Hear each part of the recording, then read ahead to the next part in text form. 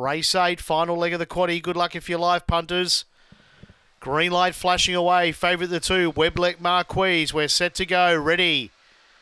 Racing, speed out wide on the track from Terrific Janine and down low Pippa's Hero.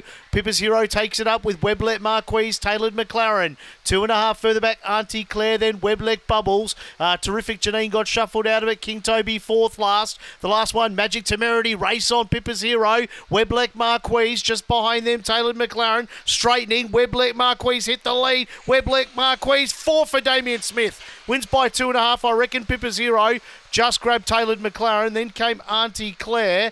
Uh, further back in the run, then would have been King Toby. Uh, Magic Temerity was in that group. And I'm not sure if I'd called uh, Terrific Janine across the line. Time around 25.81. If I missed any others, they're in the catching pen near the rear.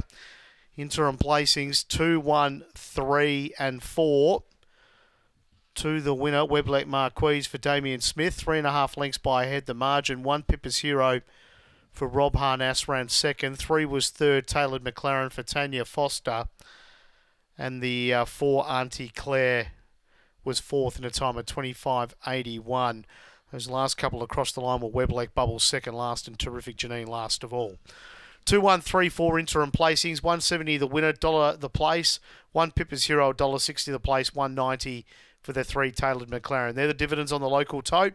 We'll bring you all clear once we have it on interim placings. 2134, time 2581.